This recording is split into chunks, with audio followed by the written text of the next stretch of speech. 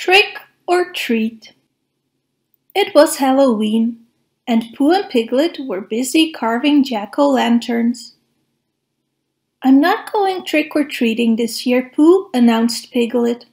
I'm too scared. What is there to be afraid of? asked Pooh. We'll only be seeing our friends.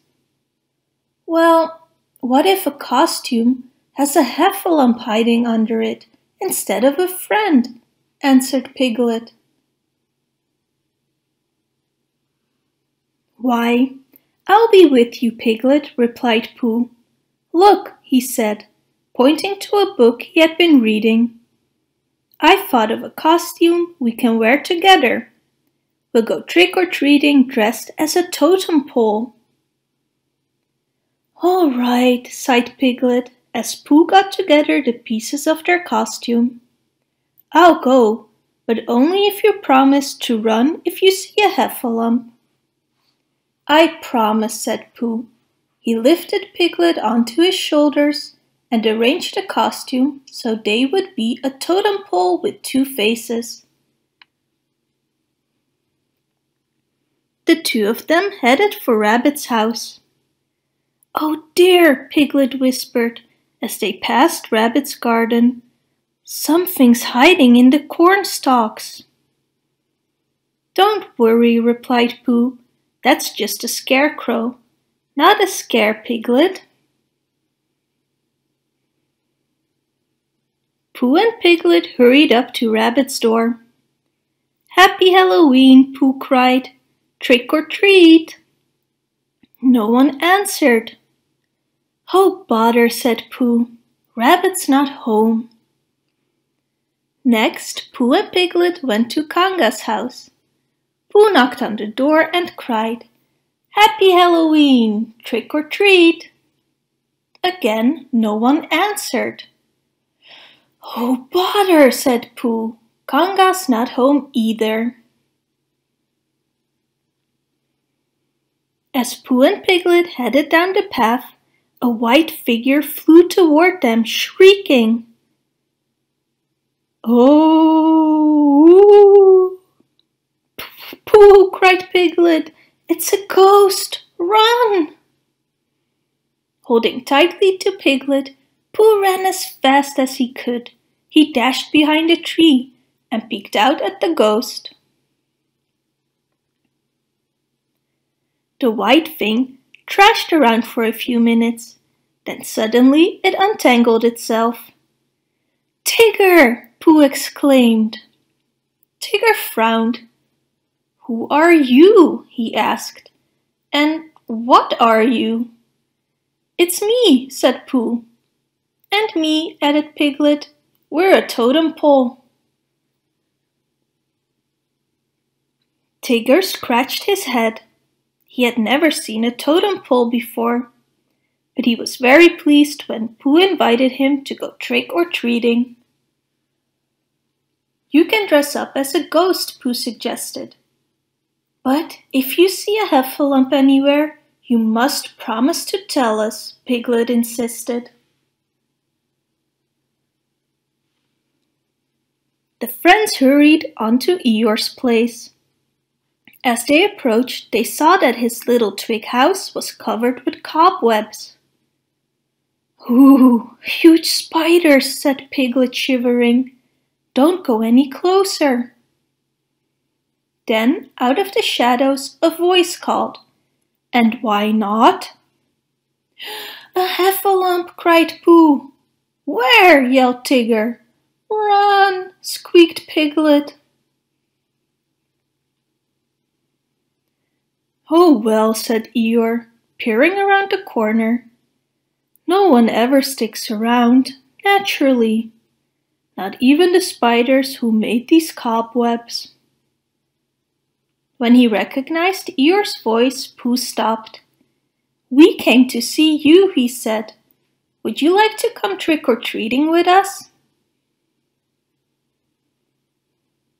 Can't, Eeyore said gloomily don't have a costume. Hmm, said Pooh. Well, If you rolled around in these cobwebs, you would look just like a mummy, Tigger said. Here, buddy boy, let me help. When Eeyore was ready, the whole gang headed down the path. Suddenly, four strange shapes ran out of the trees. Have a Heffalumps! shouted Tigger. Run! cried Piglet. Then the smallest shape squealed. Look, Mama, we scared them. Pooh halted in his tracks. Roo, he said. The four strange shapes removed their masks, and there were Roo, Kanga, Rabbit, and Owl. We tricked them, Mama. We tricked them, Roo squeaked happily.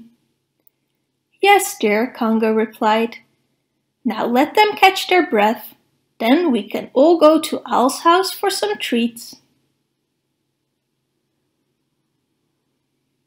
Well, Piglet, what did I tell you? Pooh said as the friends walked toward Owl's house. There was nothing to be afraid of. All we've seen are our friends this Halloween. I'm glad, Pooh, Piglet said. Happy Halloween. Happy Halloween to you too, Piglet, Pooh replied. Barney's Trick or Treat. Baby Bop and BJ are so excited. It's Halloween. They look through Barney's big costume chest, searching for just the right costumes to wear trick or treating. Let's find something really fun to wear, suggests Barney. This is fun, says BJ. I'm a superhero. And I'm a bumblebee, buzzed Baby Bop happily. And I'm a super-duper scarecrow, adds Barney. I can't wait to get lots of treats, exclaims Baby Bop. Yeah, let's visit lots of houses, agrees BJ except maybe that spooky old house at the end of the street. Trick or treat, shout Baby Bop and BJ. They receive many sweet surprises from friendly neighbors. Scooter the puppy wants to trick or treat too. Baby Bop says, No, Scooter, you can't come with us tonight. Let go of my bag. But Scooter has accidentally bitten a hole in Baby Bop's bag. Baby Bop doesn't see the treats falling out as she runs to catch up with Barney and BJ.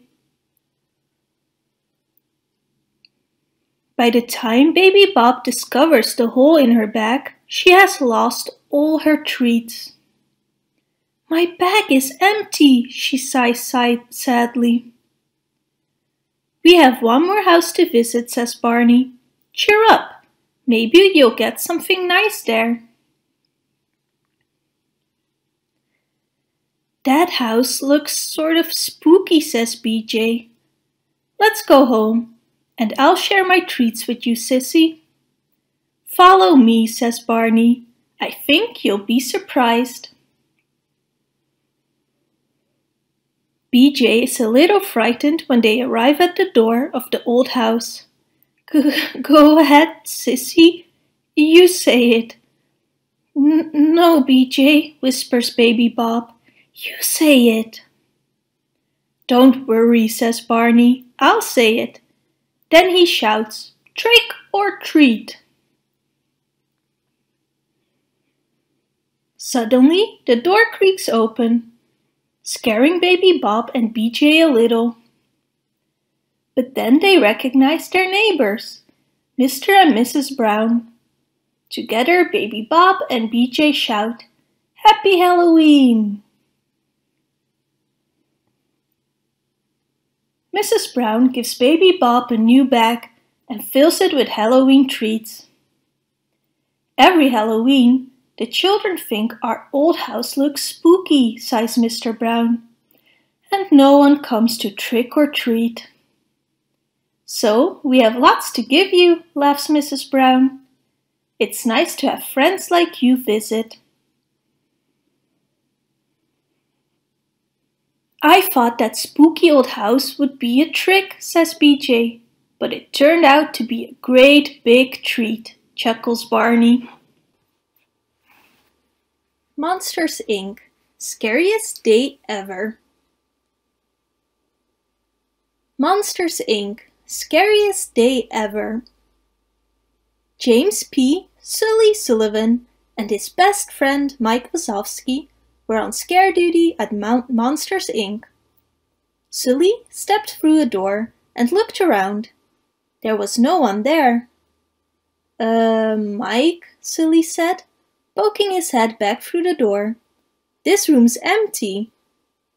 What are you talking about? Mike said, shoving past Sully into the room. This kid's always asleep by now. Sully shrugged. I guess we should go back to Monstropolis. I've got lots of other kids to scare tonight. But as Sully turned toward the door, his tail knocked it shut.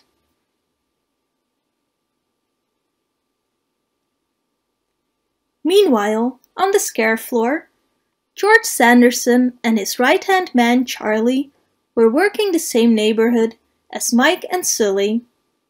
They saw an activated door but no one appeared to be manning it. Uh, Charlie said when he saw the unmanned door. Looks like Mike and Sully accidentally left this one on. We'd better turn it off, George said. It isn't safe to leave a door to the human world active. Back in the human world, Sully reopened the closet door, but when he did, all he saw was the inside of the closet.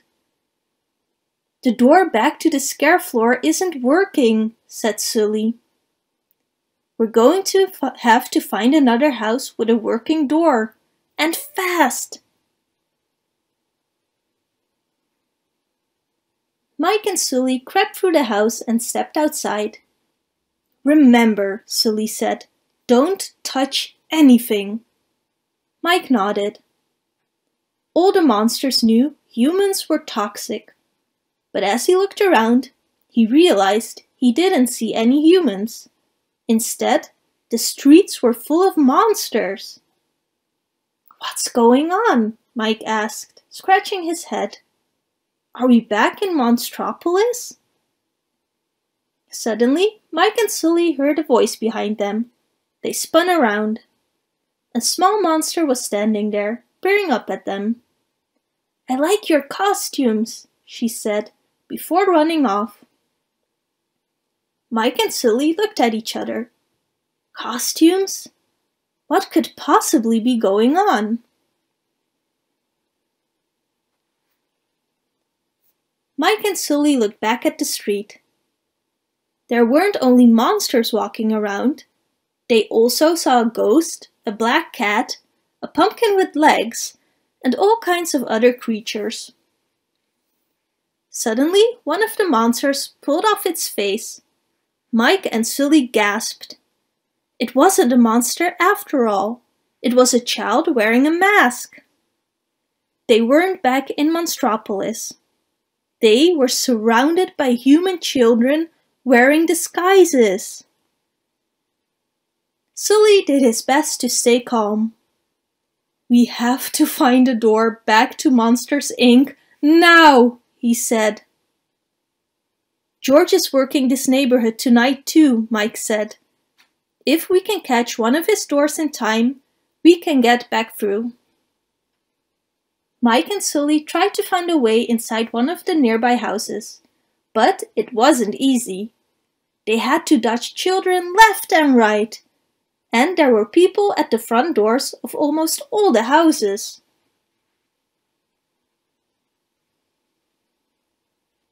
Mike and Sully managed to sneak into a few houses, but none of the doors inside were powered up.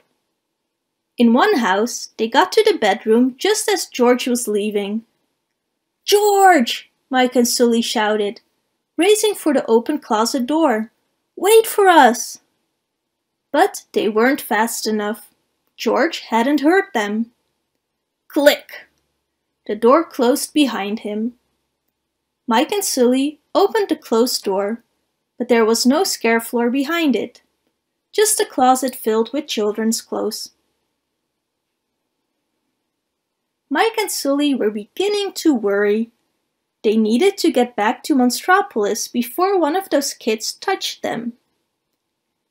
It is getting late, Mike said. Do you think any of the doors back to the scare floor are still in use? I sure hope so, Sully said. Then Mike and Sully noticed the house, but no one around. The front door was flung wide open. Maybe this was their ticket home. Come on, let's go, said Sully. Mike and Sully tiptoed inside the house. But as they crept toward the door, they heard sounds of talking and laughter. The house wasn't empty like they thought. Oh no, Sully said when he realized what was going on. We're in the middle of a party, Mike exclaimed. Whoa, said someone behind Mike and Sully. The two spun around. A boy stood there, staring at them. Cool Halloween costumes! Mike and Sully slowly began to back away. Uh, Mike, said Sully, it's Halloween? Oops, said Mike. I guess I missed that memo. Hey, the boy called to his friends. Come check out these cool monster costumes.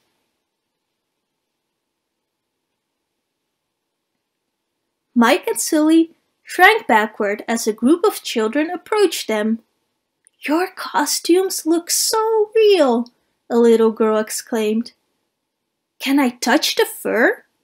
She reached a hand toward Sully. Mike shrieked. No! Sully roared. Sully had forgotten how big and frightening he was. The kids screamed at the top of their lungs and ran away.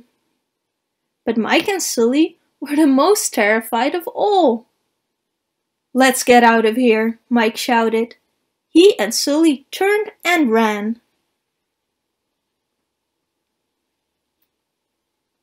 Mike pulled Sully into the closest bedroom and slammed the door behind them.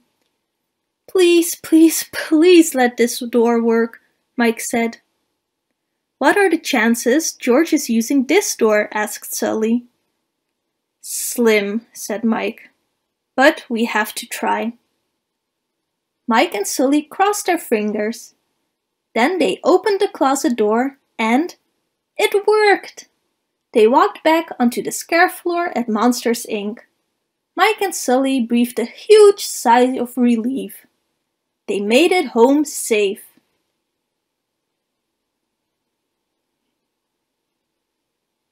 On the other side, they found George and Charlie. What are you guys doing coming through this door? asked George. I was just about to scare the kid on the other side. You saved us, said Sully, our door was broken. Oops, Charlie said. We thought you left it on, on by accident and we shut it down. Sorry. It's okay, Mike said. We're back now. But whatever you do, do not go through that door. Why not? George asked. It's Halloween and there are kids everywhere, Sully explained. Mike shivered.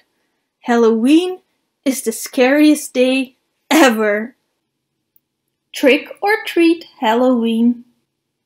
It is almost Halloween. Halloween is almost here. Halloween is fun. On Halloween, you can be anything. On Halloween, you can be anything you want to be. This is Pat. Pat is busy. She is getting ready for Halloween. Pat wants to be a clown. A clown looks like this. This is Bob. Bob is busy. He is getting ready for Halloween. Bob wants to be a monster. A monster looks like this. This is Mary. Mary is busy. She's getting ready for Halloween. Mary wants to be a witch. A witch looks like this. This is Jeff. Jeff is busy. He is getting ready for Halloween. Jeff wants to be a ghost. A ghost looks like this. Ding dong, trick or treat. What do you want to be on Halloween?